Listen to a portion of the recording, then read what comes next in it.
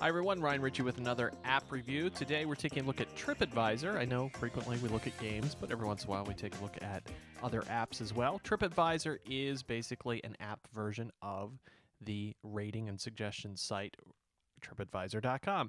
And essentially you can search by city for things like a hotel, a restaurant, anything you might need to know while you're traveling, and then you can find those hotels in this case, and they will be ranked by the highest ratings. And it's pretty cool because not only can you read the reviews, but because it's on the iPhone, you can also just press the call button and go ahead and contact the hotel directly to make a reservation if you want to.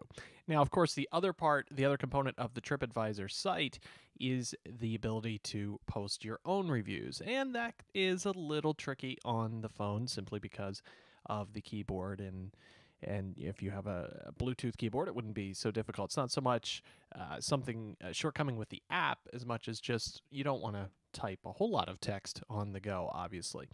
And it would be nice if you also could add photos to your review. I know sometimes you can get into a room that is just a nightmare and uh, you'd want to share that with folks. So it'd be nice if there was the ability to use the built in camera. But otherwise, it's really straightforward, well laid out. It's easy to find other people's reviews and fairly easy to add your review on the fly as well. That's a quick look at TripAdvisor for the iPhone and iPod Touch. For the digital lifestyle.tv, I'm Ryan Ritchey.